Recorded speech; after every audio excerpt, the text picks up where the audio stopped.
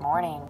Got the call from Cork. It's time to go. Time to hook up with everybody down in South America. And I'm so excited, but at the same time, it's bittersweet because I'm leaving the family behind and, you know, I'm mom.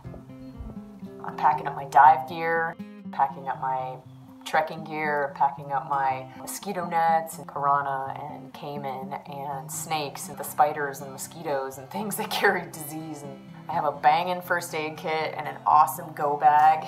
This is my go bag here. I kind of like to bring my coffee stuff with me too. That's my deal.